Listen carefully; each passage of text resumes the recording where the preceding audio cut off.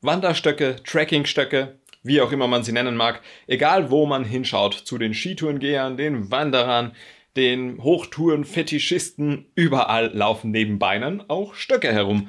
Aber warum eigentlich? Hat sich das schon mal wer gefragt? Gibt es vielleicht einen Grund, warum manche mit und manche ohne unterwegs sind? Klären wir das heute im Bergsteigen Grundlagenkurs.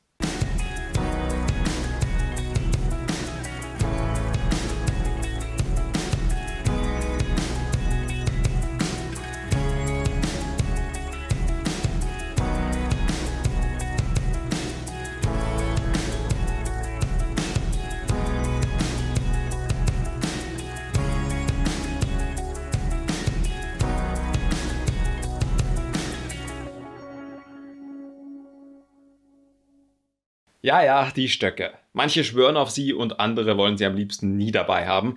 Und es ranken sich auch einige Mythen um das Thema Wanderstöcke. Deshalb schauen wir uns gleich zu Beginn mal Schaden und Nutzen der Stöcke an. Denn ja, Stöcke können nicht nur Gutes mit sich bringen.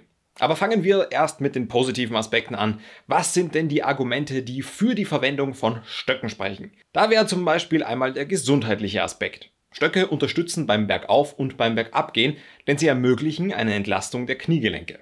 Die Idee ist simpel, aber wirkungsvoll. Richtig eingesetzt kann man über die Arme und die Schultermuskeln mit mehr oder weniger Kraftaufwand auch mehr oder weniger Last auf die Stöcke umverteilen.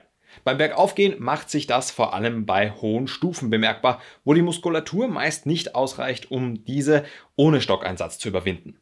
Beim Bergabgehen können sie, vorausgesetzt sie werden richtig verwendet, eine Dämpfung des Aufpralls am Boden erzeugen. Das bedeutet, man braucht gar keinen dick gepolsterten Schuh, sondern kann sich mit Stöcken auf, auf einfach selbst sehr gut abfedern.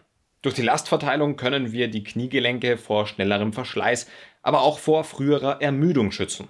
Bedeutet, unsere Kniegelenke und vor allem die Sehnen drumherum bleiben länger fit und können somit länger belastet werden. Für Weitwanderer ist das definitiv eine interessante Option.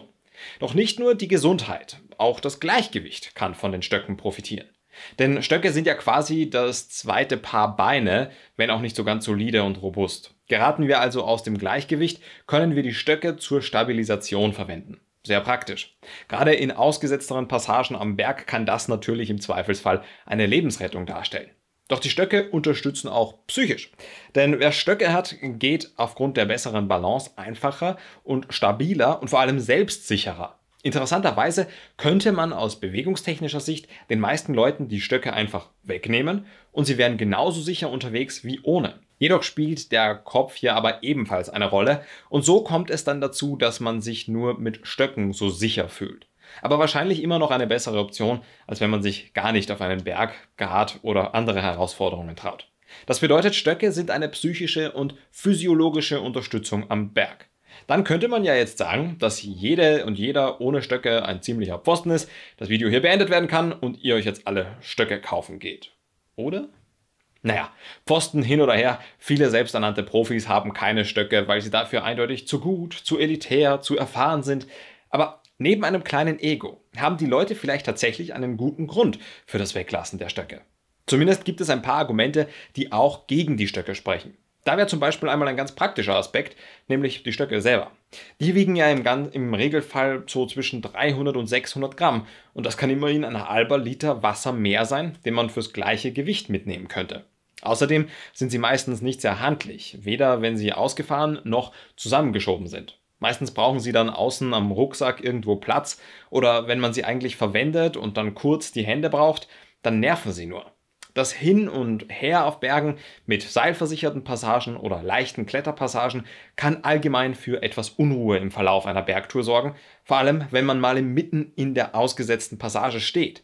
Dann kann das Stockgefuchtel für einen selber, aber auch für andere Bergsteiger vor und hinter einem sehr unangenehm sein. Ein weiteres Problem bei Stöcken ist definitiv auch die Macht der Gewohnheit, was langfristig oder in bestimmten Situationen zu Schwierigkeiten führen kann. Wer immer nur mit Stöcken unterwegs ist, wird über die Zeit ohne Stöcke auch immer unsicherer. Das hängt vor allem mit dem Faktor Trittsicherheit zusammen. Die Trittsicherheit ist eine psychische und koordinative Herausforderung, der man sich Schritt für Schritt über die Wochen und Monate immer wieder stellt und immer besser darin wird. Stöcke können diesen Prozess nicht nur vereinfachen, sondern teilweise sogar gänzlich überspringen. Das kann natürlich einige Gefahren mit sich bringen, alleine schon, weil viele Bergsteiger dann etwas zu selbstbewusst unterwegs sind, wenn sie mal keine Stöcke dabei haben. Die andere Möglichkeit ist aber ehrlicherweise auch nicht viel besser, denn das würde bedeuten, dass sie ohne Stöcke dann wie gelähmt nicht mehr vom Fleck kommen würden. Stöcke sind also durchaus eine psychische und koordinative Erleichterung, die aber eben nicht immer eingesetzt werden kann. Bei seilversicherten Stellen, bei leichter Kletterei oder auch beim Seilklettern ist Koordination, Selbstvertrauen, Trittsicherheit und eine gute Einschätzung ganz ohne Stöcke zu meistern. Hier ist oftmals das Scheitern auch definitiv verboten. Wer sich also zu sehr an Stöcke gewöhnt, könnte letztlich auch mit Gleichgewichts- und Sicherheitsproblemen konfrontiert werden. Außerdem bringen Stöcke stets auch einen tückischen Aspekt mit, nämlich die Materialsicherheit.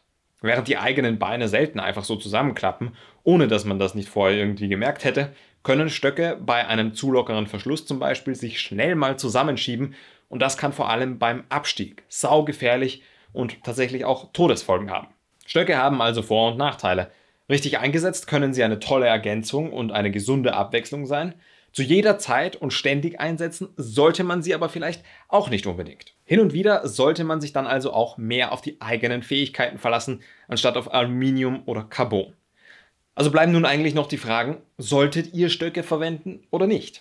Und wann lohnt es sich, Stöcke mitzunehmen? Naja, ganz so einfach ist das gar nicht zu beantworten. Seid ihr noch neu und wisst nicht, ob ihr Stöcke braucht, würde ich euch eher dazu raten, euch welche zuzulegen.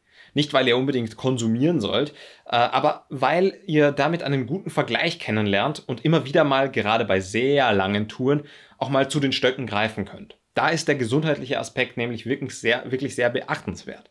Für alle, die schon länger im Bergsport sind und keine Stöcke verwenden, aus welchen Gründen auch immer, die brauchen sich jetzt wegen diesen Argumenten auch keine Stöcke zulegen. Es ist nämlich letztlich viel mehr Gewohnheitssache als sonst was. Klar hat es einige Vorteile, aber da gibt es jetzt nichts, wo ich sagen würde, uh, deshalb brauchen jetzt alle Stöcke.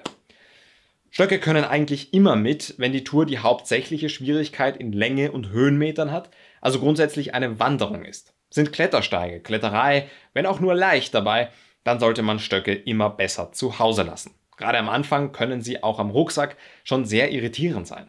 Wichtig ist, dass man das Ganze natürlich immer etwas ins Verhältnis setzen sollte. Bin ich sieben Tage unterwegs und an einem Tag habe ich einen leichten Klettersteig zu absolvieren, werde ich mit den Stecken am Rücken leben können. Der Nutzen überwiegt hier nämlich einfach. Gehe ich aber zu einem Sportklettersteig und habe nur einen kurzen Zu- und Abstieg, sind Stöcke das Letzte, was ich mithaben möchte. Ich hoffe, ihr habt jetzt ein gutes Bild davon, was Stöcke für Vor- und Nachteile bringen können und vielleicht wollt ihr jetzt auch mal für eine Tour die Stöcke zu Hause lassen. Wenn euch die heutige Episode gefallen hat, ihr wisst Bescheid, gern einen Daumen hoch da lassen.